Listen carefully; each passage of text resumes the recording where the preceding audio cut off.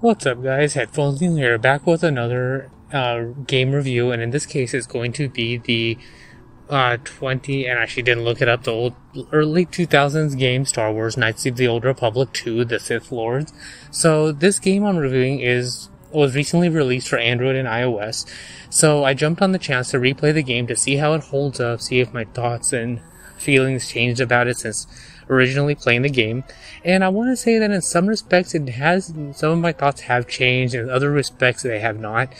So, as a bit of background, I did play the game originally when it came out, and I thought it was okay. It was a decent enough sequel, but um, the idea of the Sith Lords and because the Jedi um, Order is in shambles because of the Jedi Civil War and the Mandalorian Wars worked out, and then the Sith Lords coming into play to uh, um, as a result of the events on Malachor 5 worked out. So the premise was all fine, but the game felt very incomplete and not necessarily rushed, but you could tell that there there were storylines at the time that stood out that were incomplete. Um, notably, um, the planet with the HK47 um, knockoffs. So um, there was supposed to be a planet called um, M378 or M470, something like that, where um, you find that the Jedi Master that was staying, that was hiding out on Korriban learns that there's something going on on that droid planet, so ends up going there.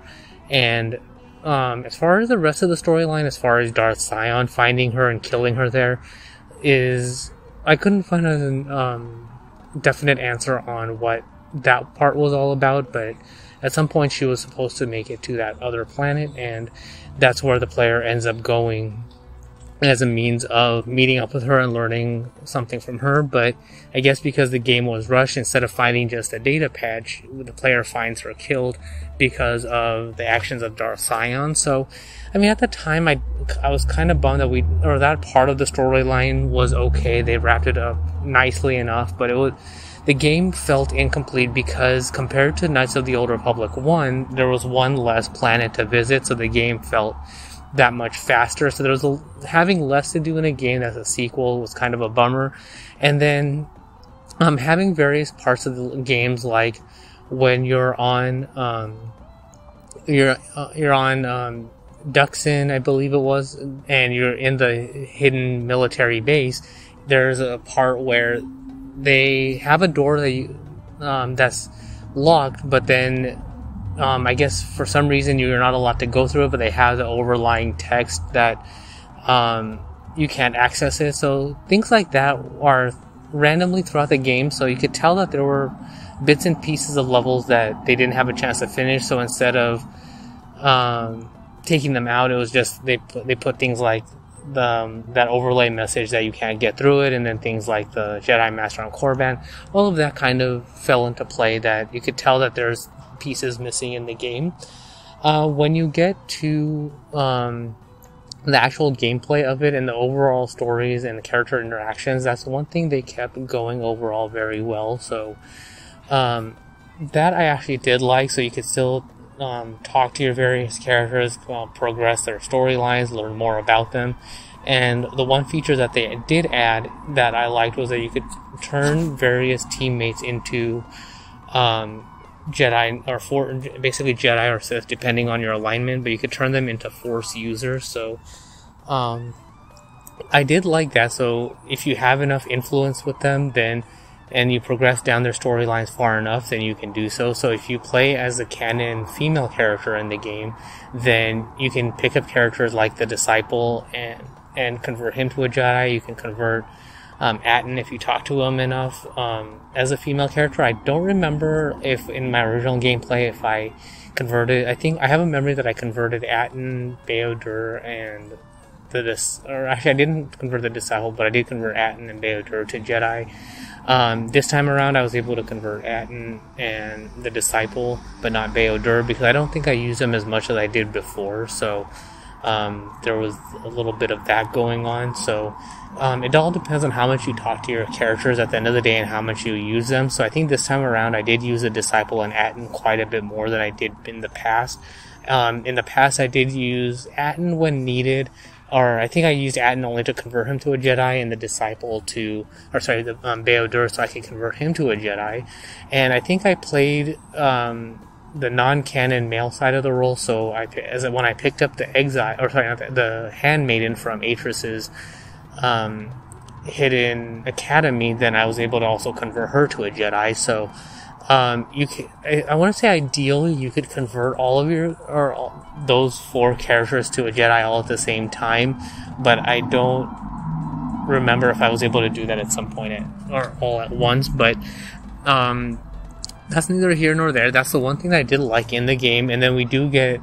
Um, or the other part of the game that I did like is that we did get to visit new planets like Nar Shaddaa, Onderon, and Dxun. So um, that was a good part, and the parts I felt kind of repetitive but worked in the scope of the game was um, revisiting Korriban and seeing the um, uh, destroyed um, Sith Academy, and then visiting Dantooine and visiting the ruined Jedi Enclave. So, all in all, those two planets worked, even though they were repurposed from the first.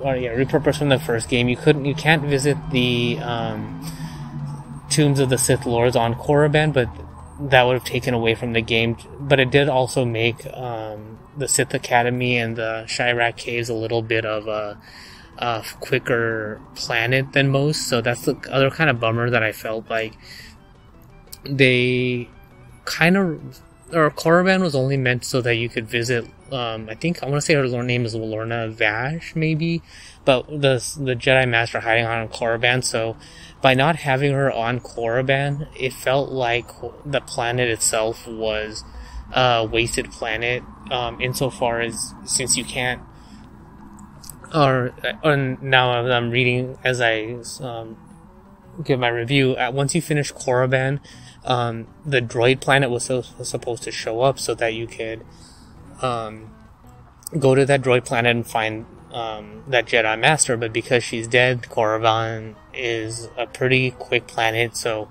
you finish this uh, Sith Academy and you find Darth Sion waiting for you. You're unable to beat him as part of the gameplay, so that you can fight him later, and then you end up going to um, the Shyrack Caves to um, travel among there, and then you can get some more backstory as far as your character and um, how she ended up joining the um, Mandalorian Wars and following Darth Revan and Darth Malak. So that was okay. That worked out. I mean, but it wasn't really. There wasn't very much there for plot progression. Um, granted, if you go to Korriban and you get to the, I mean, the all of it is okay if you end up going to the droid planet. So um, or if the droid planet was there. But in my opinion, instead of having Korriban, if they had just put in the droid planet and you go there, meet with a Jedi Master, and that's where you end up picking up, or that's where you learn about joining the Mandalorian Wars, and that's where you also learn about um, how you picked up HK47. That would have worked out better for me. The whole Dantooine story arc was fine um, because you do go and um, you find the Jedi Master there. You're uh, revitalizing the trade route. You're um, uh, going to the Jedi Enclave to find out what's going on there. To pick originally to pick up the disciple, and then after that, you have all the Jedi meeting up there to um, tell you the rest of your backstory on why they exiled you. And of course, the second part, or the other part that I liked about the game is that you get a new force power in that if you're on the light side, you get a power called Force Enlightenment. So it um, allows you to enable your th- the, or three of your force powers um, all at the same time. So I believe, so I was reading that it was potentially just your three highest force powers, but then on the other side, it um, activates your force speed, force um, barrier, and force armor at the same time, regardless of um, what the level of those is. So, as a light side user, um, that gives you a good amount of quick protection and activates force speed, so you can run around easily rather than having to do those three separately. Uh, you do still have to use the rest or activate the rest of your power separately, but having instead of having to do three powers at one or three powers separately, you can do one power all at the same time. So that works out nicely. Um, I don't remember having received the dark side version of that. I think it's like force kill or force choke or something along those lines, or um, something not force choke, but something along those lines where it activates your three dark side powers. So.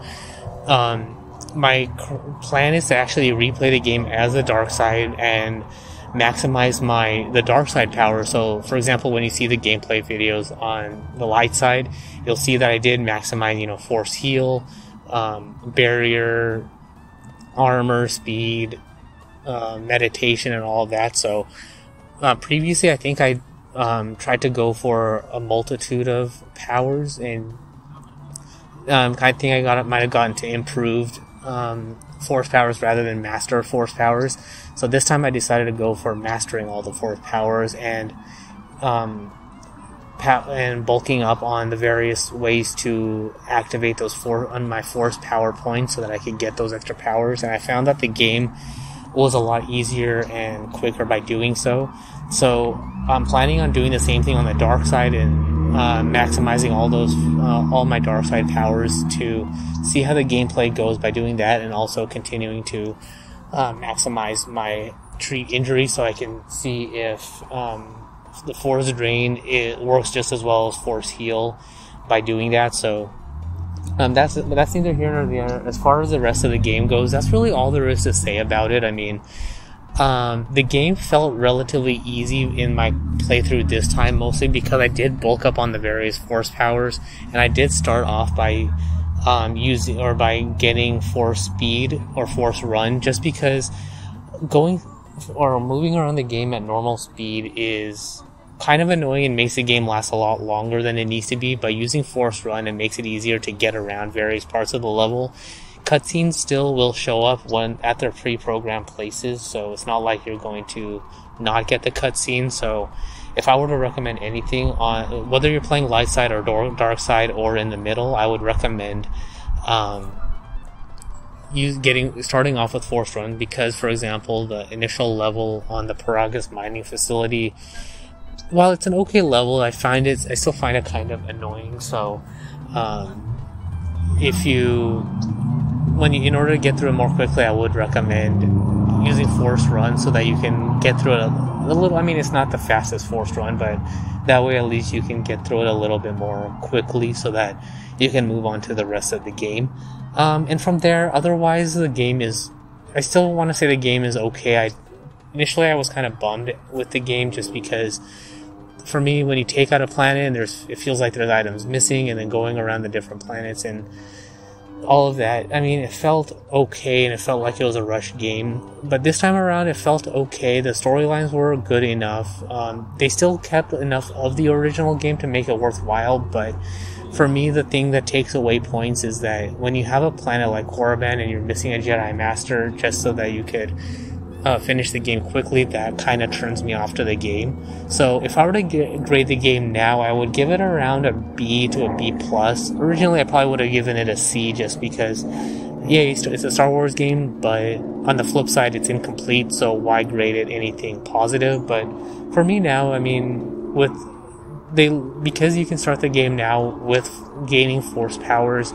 Um, they add Force Enlightenment. You can convert your various players to um, into becoming Force users, whether Jedi or Sith, generally just works for me. So, um, I def I would now I would recommend the game, but with a grain of salt that it is incomplete. So, I'm not going to say that it's the greatest Star Wars game in the world, but it's not as bad as I remember it. So, overall, as I mentioned, I give it a grade of a B. So, not definitely worth playing, but if you're coming off of playing the first Knights of the Old Republic, then definitely play this for completionist sake, even though a lot of it might not be canon, but it is a Star Wars game, and I did like the improved Force fe- features that you could use in this game, or that you get in the game, like Force Enlightenment, but you Force Enlightenment. But then also your character can gain the power of battle meditation, which you could not do in the first game.